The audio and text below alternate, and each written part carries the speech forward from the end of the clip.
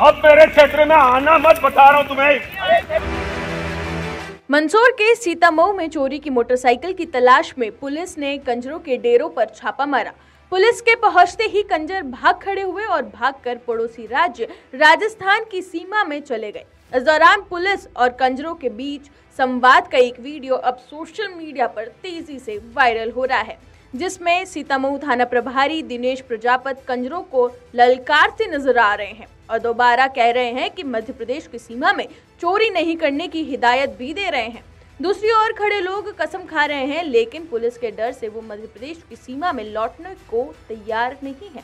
इस दौरान थाना प्रभारी उन्हें चोरी की मोटरसाइकिल को भी लौटाने के लिए कहते हैं और इसके लिए वे कंजरों को तीन दिन का समय देते हैं। ये वीडियो 30 जनवरी का बताया जा रहा है, जो कि सोशल मीडिया पर अब तेज़ी से वायरल हो रहा है।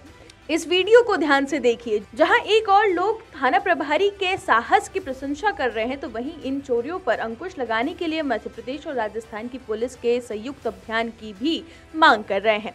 गौरतलब है कि मंदसौर में मध्य प्रदेश और राजस्थान सीमा से सटे इलाकों के में कंजर अक्सर चोरी की वारदात को अंजाम देते हैं, जिसके बाद वो राजस्थान की सीमा में भाग खड़े हो जाते हैं। क्षेत्राधिकार के चलते पुलिस को कार्रवाई करने के लिए जो है परमिशन नहीं होने की स्थिति में मध्य प्रदेश पुलिस राजस्थान की सीमा में कार्रवाई नहीं कर पाती। इसी का फ़ायदा उठाकर कंजर आसानी से वारदात को अंजाम देकर भाग खड़े होते हैं।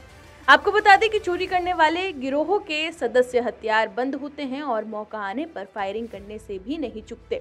पुलिस की दबिश के समय ये लोग अपने घरों को छोड़कर भाग खड़े हो जाते हैं। वहाँ सिर्फ़ महिलाएँ और बच्चे ही मिलते हैं, इसलिए पुलिस को खाली हाथ लौटना पड़ता है। लेकिन इस बार पुलिस ने इस डेरे के सदस्यों को घेर लिया।